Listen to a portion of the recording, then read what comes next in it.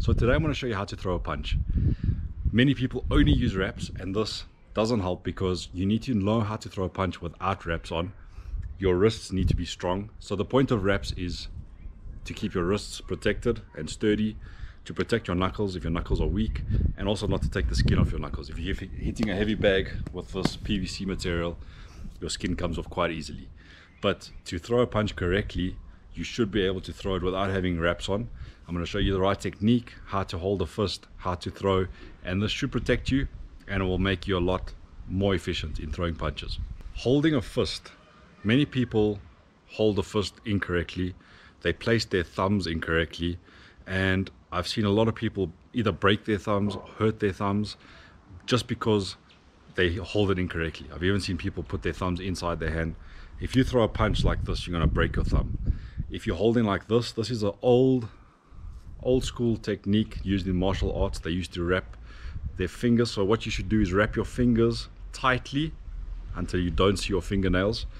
And the old way to do it is wrap here for stability because it makes your wrist and your forearm more stable when throwing a quick punch.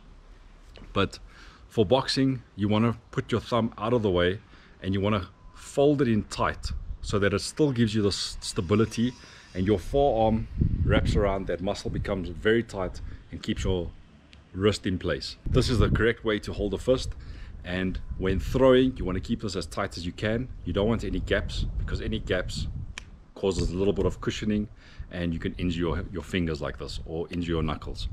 Keeping everything nice and solid and tight limits the amount of injury you'll get, keeps everything solid and will keep your hand protected because everything is tight, solid, and there's a bigger force.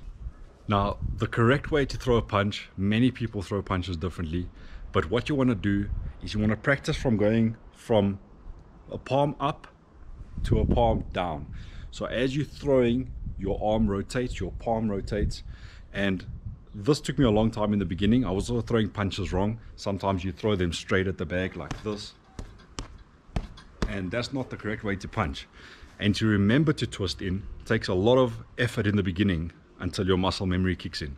So the way I used to practice is palm up, quick strike, twist your palm down. So you want your palm to rotate. So coming from a palm up, you want it to rotate up, hit the bag with a palm facing down.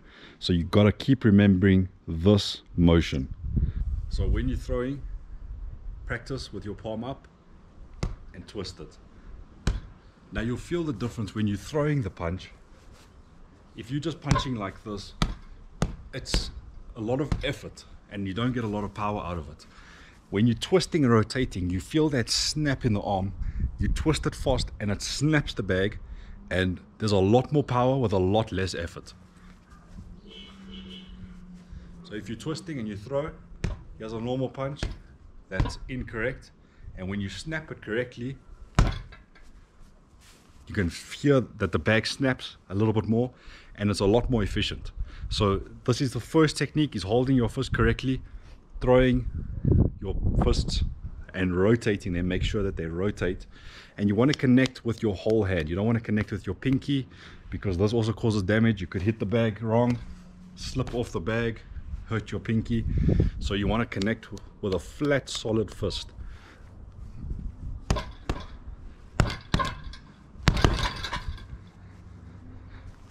So that's a quick video how to throw punches. If you go back to this video linked, you'll get a six minute workout video and I'll see you guys soon.